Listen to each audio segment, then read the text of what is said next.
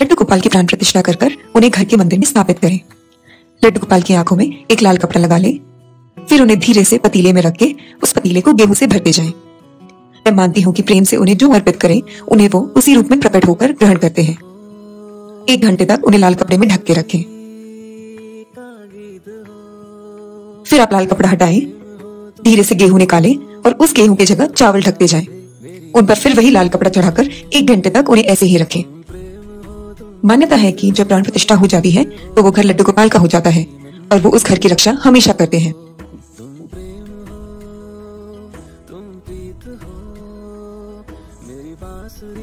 फिर धीरे धीरे चावल निकाल दें और उसी पतीले में फल रखें। एक लाल कपड़ा डाल के उन्हें ढक दें।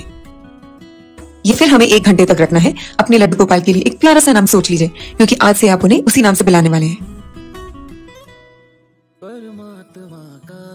कुछ सुंदर सुंदर फूल ले लें, गेंदा, गुलाब, रजनीगंधा, या जो आपके मन को भाए। लड्डू गोपाल के ऊपर फूल चढ़ाएँ और उनके पूरे बदन को फूल से ढक लें। एक घंटे तक उस लाल कपड़े के अंदर लड्डू गोपाल हमारे फूल में बैठे रहेंगे। जिस तरह से बच्चे को माँ के घर में पोषण मिलता है, उसी तरह बाल गोपाल को इस प्रक्रिया से पोषण मिलती है।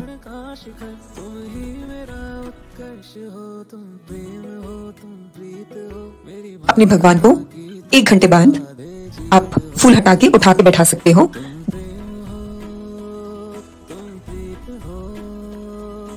दूध, दही, घी, शहद, चीनी और गंगा जल से स्नान करा सकते हो।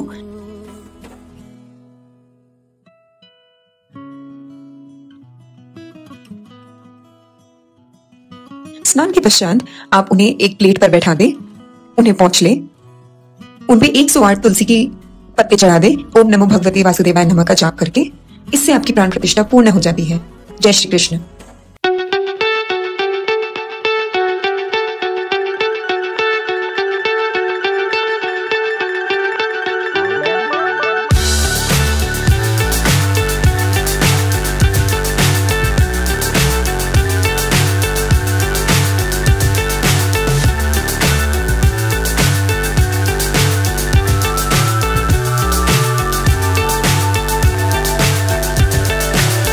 so high I'm hypnotized.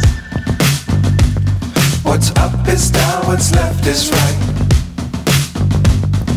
Chasing stars and holding you.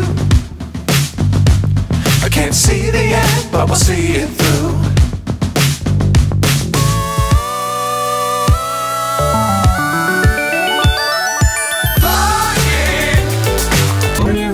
Braj Bhumi